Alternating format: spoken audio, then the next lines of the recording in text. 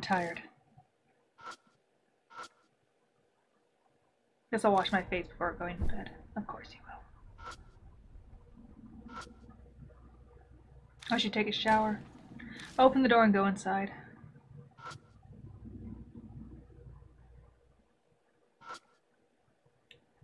Man, a bath a bath's nice once in a while.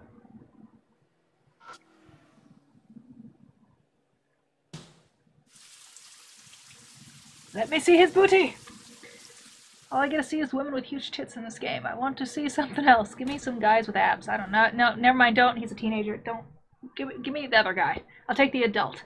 He'll just show me in one of the naked. I'll look at his, his aunt. I don't care. It's not him. Unless he's 18. Then it's legal. But at the same time, just no. What's that noise? Is it coming from next door? A movie or maybe a video game?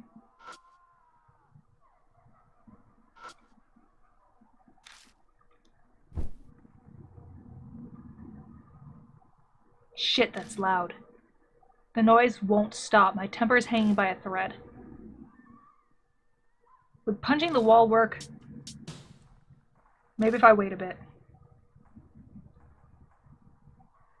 Nope, the noise shows no sign of stopping. I can't take this any longer. It finally stopped. Maybe I'll water the plants.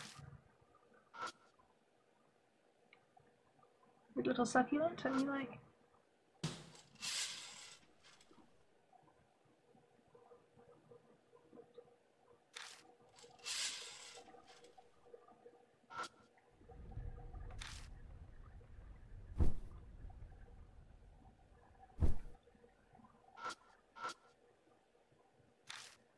What plants?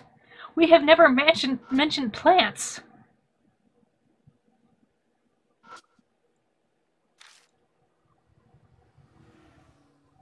Do you mean take a piss?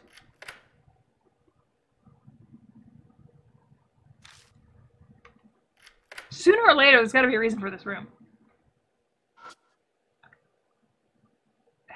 What plants?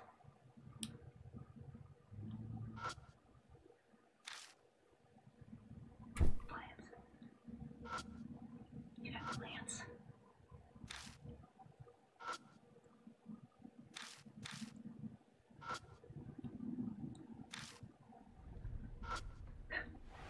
What? Maybe I'll water the plants.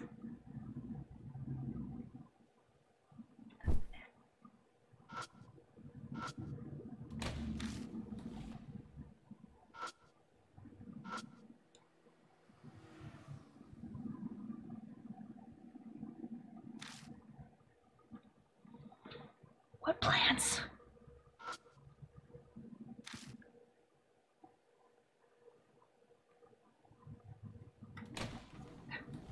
What the fuck by plants?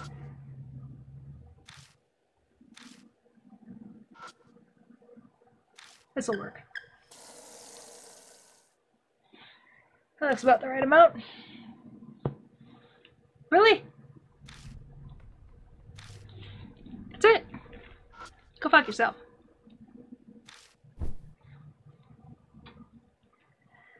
I'm weirdly sleepy.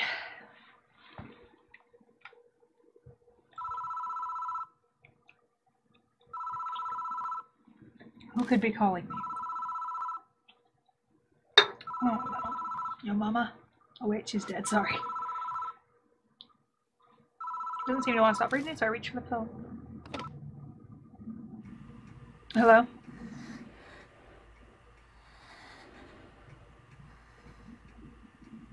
Heather lying silent. All I hear is breathing. Huh? What the hell? Hey, what do you think you're doing? Please don't look inside. Chills run down my spine. My body involuntarily jerks and slams the receiver down. I'm gonna be honest. I'm having this thought that what's that? If he's a pedophile, what that's referencing is, yeah, you know, inappropriate and bad. I'm hoping I'm wrong, but Uh, chills run down my spine and my body involuntarily jerks and slams the receiver down. That voice, it sounded familiar. Someone's pranking me, or they're probably trying to call me. Again, I guess I'll just lie in bed and wait. I shut my eyes and wait. The room is quiet and doesn't seem like anything's gonna happen.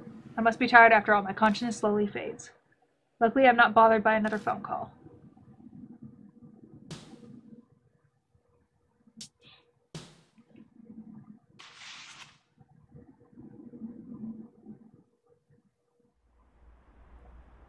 The next day, I wake up to an oppre oppressive heat. I drag my Alyssa's body outside and trudge the electronic shop in search of batteries. Since it's an older battery, I'm not having much luck finding what I need. By the time I get what I set out for, the sun has already set.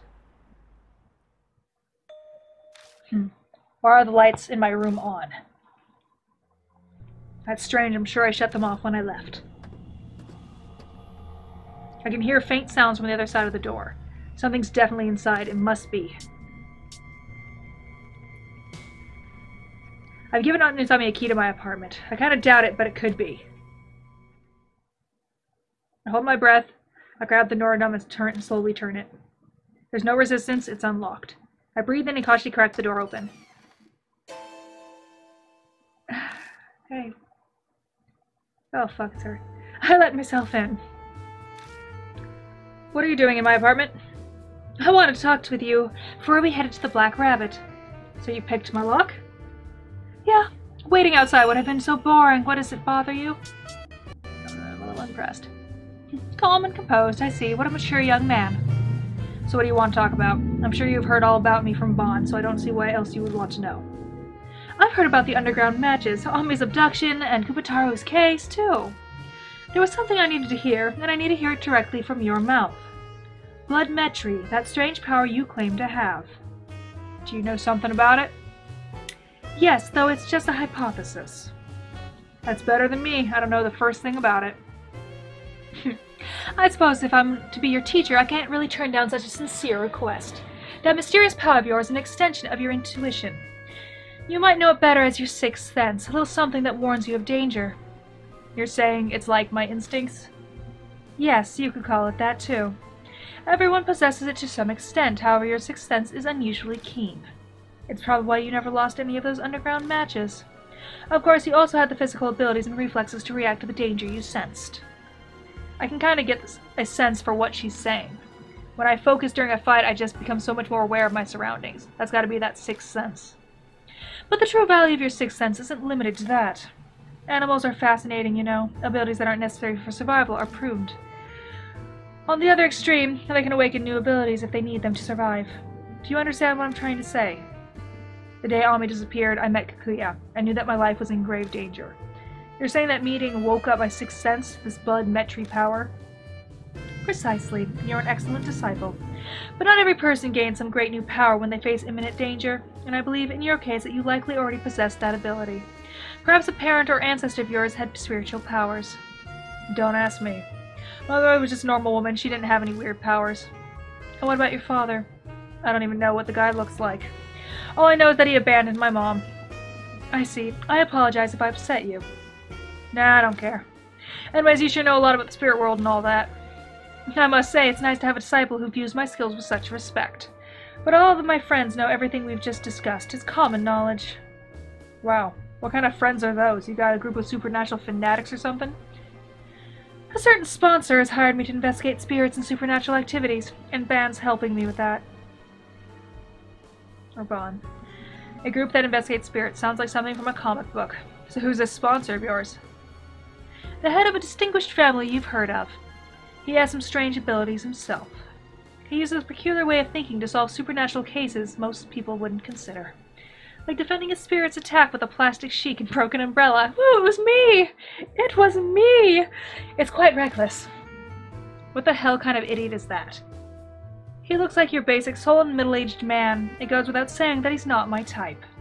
He's currently on an overseas business trip with a friend, which is why I have to try apps around investigating cases now. Although thanks to the situation, I was able to meet a wonderful young man like you. You are creepy. Well then, it's about time. We should get going.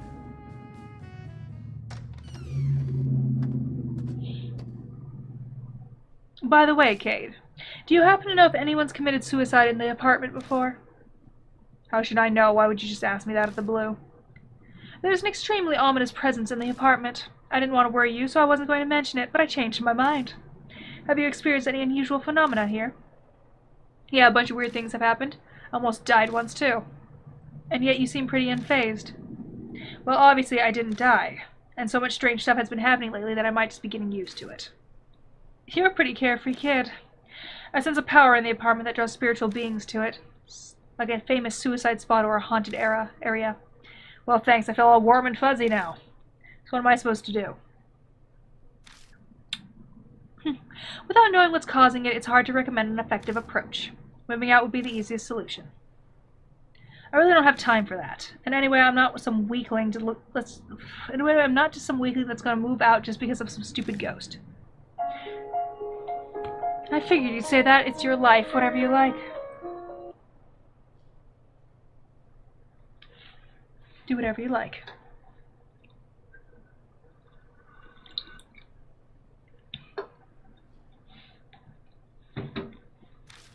Nope, not that. Wrong button again. So you said something else, I don't know. When we arrive at the Black Rabbit, the lights are on. Oh, welcome. My Natsumi's here, and she looks exhausted. I wasn't expecting to see you here. Yes, I won't be long, though. I have to meet with a new detective. Her eyes are completely lifeless, although that's to be expected. For two weeks now, she's been doing anything and everything she can to think of to find Ami. Police, detective, flyers, the internet, none of it has helped. Would it help if I told her that Ami is alive but being held hostage somewhere? Even if I did tell her that, there still wasn't anything she'd be able to do about it. Worse, if she gets involved, she could end up dying like Maruhashi. Despite that, should I should I tell her about what I know about Ami's situation? Okay, I'm leaving. No, that no, you no. After a bit, Rose, who was waiting outside, comes in. So is that your aunt? She seems distraught. It was painful to even look at her. Hey, sorry I'm late. The Mahjong game. Ma what, Mahjong game? Mahjong? Mahjong? Whatever it's called. I, like, I know how it's said, but my brain's like, no. That's, no. Got intense at the end. Mahjong. Oh, what's the matter? You're the most incorrigible, thick-headed man I have ever had the displeasure of meeting, and yet I adore you. You're beyond all hope. Death would be a kindness to you. Uh, what the heck are you so mad about? I don't have the energy to explain it to you. Well, how's your investigation going? Don't you dare tell me that it slipped your mind and you wasted all your time playing mahjong. Don't be ridiculous. I'm a cons- I'm a consummate professional. Here's all the info I've found so far. He didn't have any friends or close relatives, so I wasn't able to get much. But I grilled Miroku's, pu- publisher and it paid off. I finally got my hands on this. Excuse me. Oh, so he originally wanted to be a doctor, did he? Changing career paths from doctor to an author is quite a drastic life change. The reason he did so is a mystery. Apparently he didn't talk to talk about himself much, but it's doubtful that, that cash was the reason. The Miroku family is extremely well off. Yes, that's evidence based on that mansion. The poor author wouldn't be able to live like that. Apparently his publisher never once set foot in that house either. Seems like Miroku hated anyone intruding on his private life, pedophile. So basically, if we're to learn about his private life, our only option is to rummage through that mansion. That's right. I also looked into what was recorded on that T-tape. The girl disappeared half a year ago. She was last seen at an intersection about about a five-minute stroll from the Miroku residence. I see. So that's why there were regular patrols around that area. But if that happened half a year ago, why are they still maintaining the patrol route? As it turns out, a number of other girls have disappeared around the area too. They're ancient cases, though, so I didn't have time to dig into them. That concluded my report. Concludes my report. Good work. Well then, should we head straight to the Miroku residence? We must unveil the truth that lurks within the darkness. Stretch, pin and stretch, pin and stretch. We go our separate ways as Miso at ways at Kichijoji Station, just like yesterday. Each get on the train.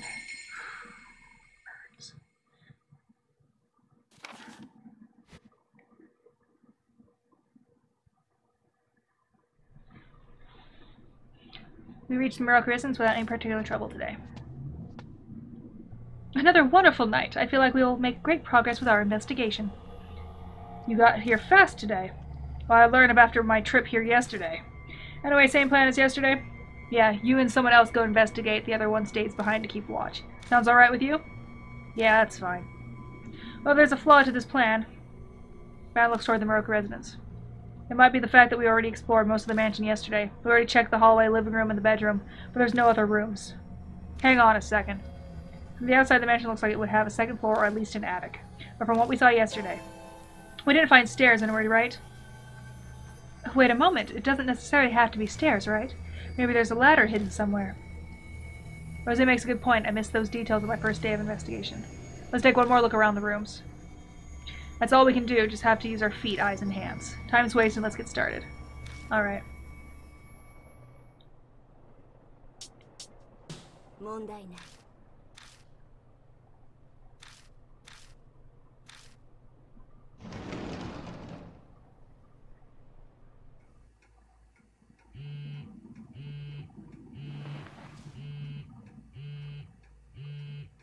Text. How are you? It's D-Man. I prepared your next drill. Repeatedly hurry the movement of the monster that moves without rest. Alright. Come now, look at that later. Focus on the investigation. I know, I'm coming.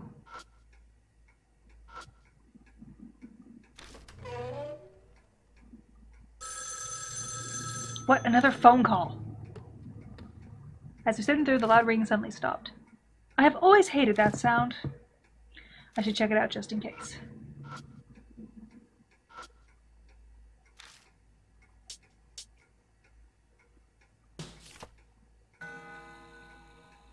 I push the long hand around in full circles, but nothing happens.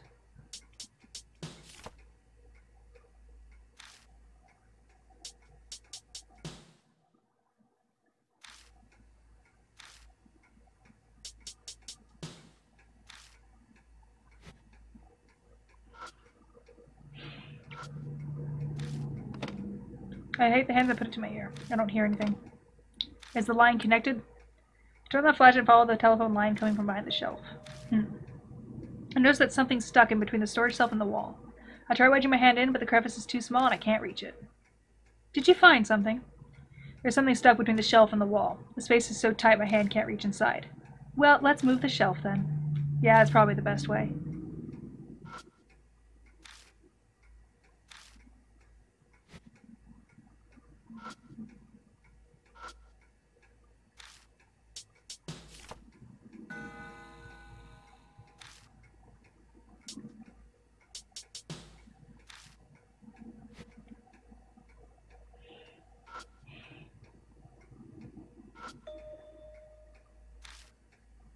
They're completely dried up.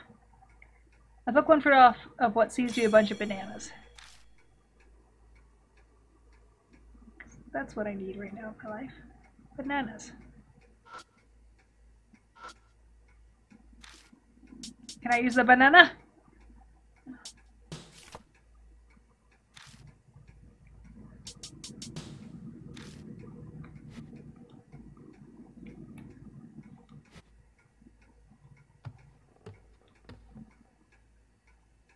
Hi. What's up? Can I hang the banana?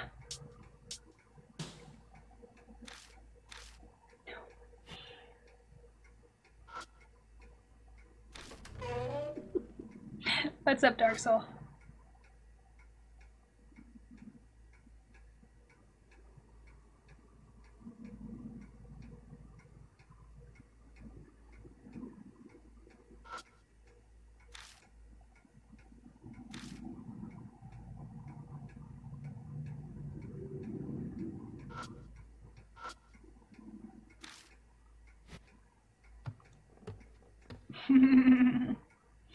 Sorry, I'm focusing.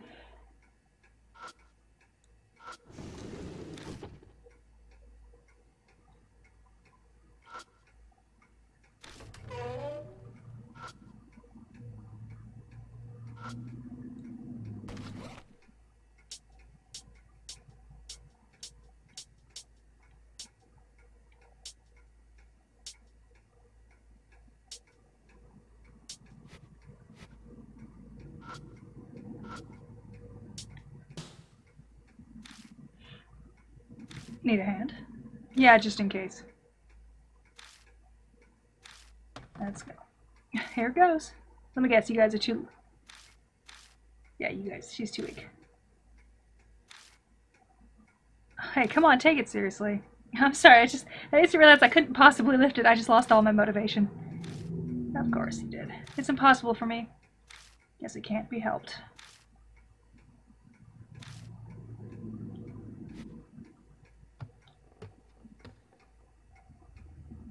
Trying to get... I'm on my diet and exercise regimen again. Ah, feel ya.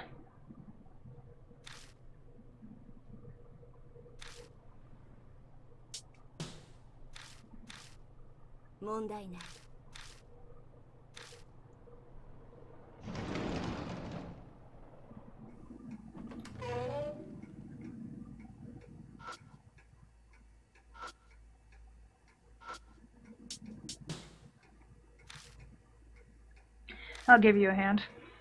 Then I go side swords and... Alright, let's do this. Now.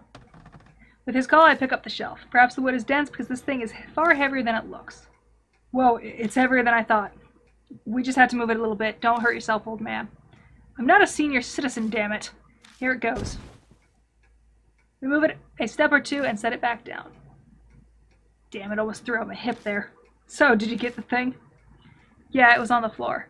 So what do you think it was? Quit playing around and show it to me. Oh, don't hurt yourself. I, li I light up the object with the flashlight and show him. It's a cassette tape labeled H. Looks like it was worth putting my hip at risk. I wonder what's recorded on this tape. Can I do this yet? Let me do this. I want to get the card.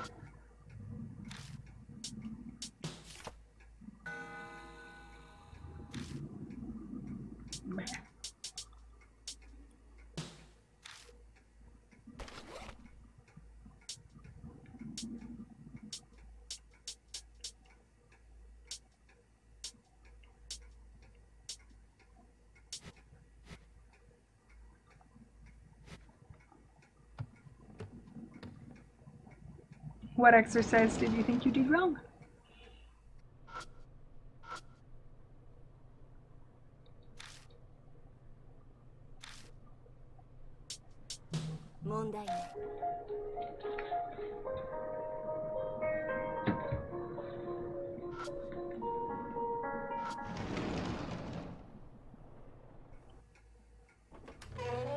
It's not technically no, it's a spirit hunting game.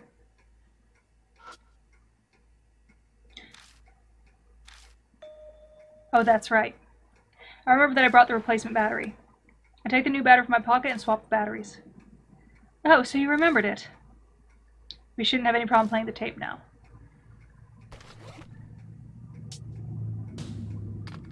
I put tape H into the boombox. I press the play button. No sound comes out of the speakers. Hmm, is it working properly? Well, the tape is spinning just fine. Maybe it just hasn't gotten to the part where there's sound. Suddenly the phone from the next room rings. This is intriguing. Looks like someone wants us to answer the phone. But the tape is still spinning inside the boombox. Let's go take a look.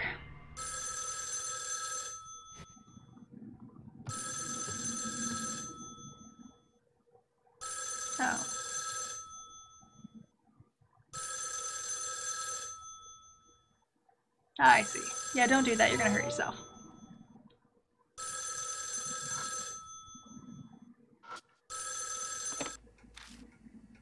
I summon up my courage, take the handset, and put it to my ear. Radio noise. Hear something that sounds similar to when tapes are played back. I listen to the headset, just hoping to hear something else.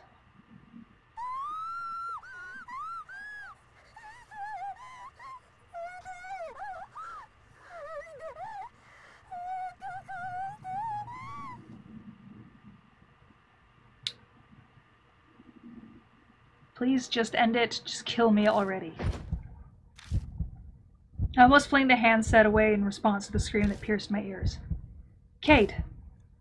I'm alright, it's nothing.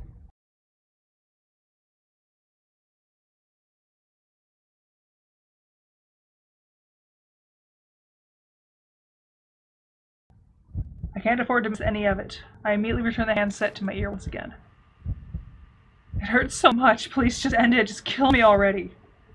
What the hell is this? I hear a girl's voice pleading desperately.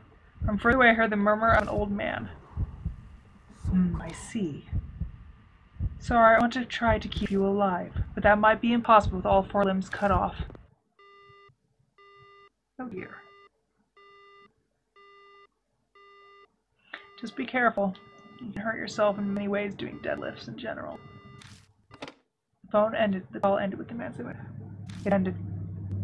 It looks like you heard something quite unpleasant. Do you mind telling me what you heard? All right. I described the girl's scream in the voice of the man who apologized. If what he said about cutting off her, all four limbs is literal and is true, then this is a recording of something truly terrible. The entire time I heard the sound that sounded like tape noise. I couldn't hear it directly, but I think it was what's recorded on each tape. All four limbs cut off, you say? He apologized when he is the cause. What could this man possibly be trying to do? Sounds like the logic of a psycho. There's no point in thinking about it. Instead of the human centipede, it's the human worm. Even so, we should attempt to figure out the cause of his de deviance. Okay. Can I do this here?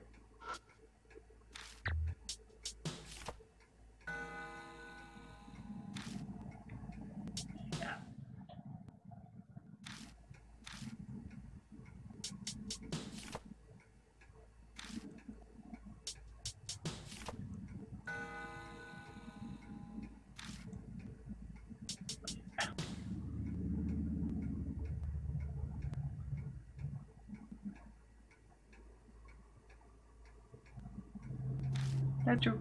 Be patient. Always be patient.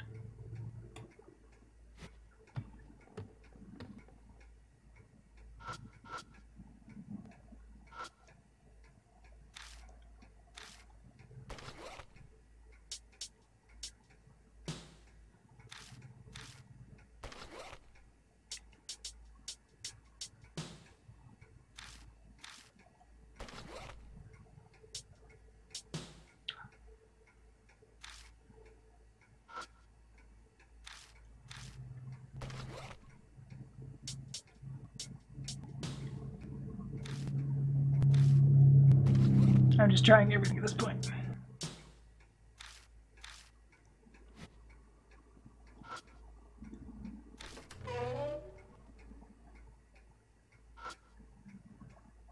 Uh, hi? What the hell? I can't contain my shock as my flashlight lights up an object on the ground. Gather myself and look at it again.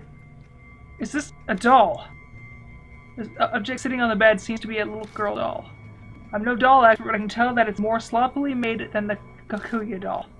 Its clothes are dirty and there are a couple reddish-black stains on it.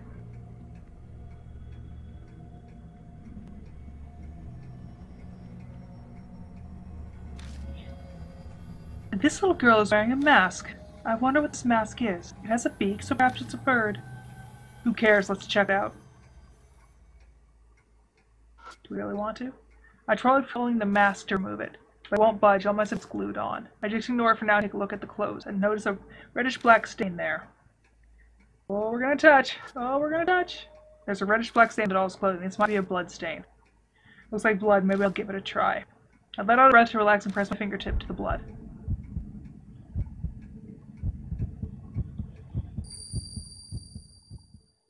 I can't button match because I actually have to read. I hear a sniffling, crying sound. Along with it, I begin to hear a quiet voice. I'm famished, famished.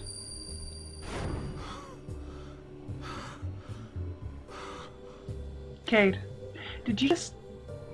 Yeah, I tried it out. So it seems, any luck?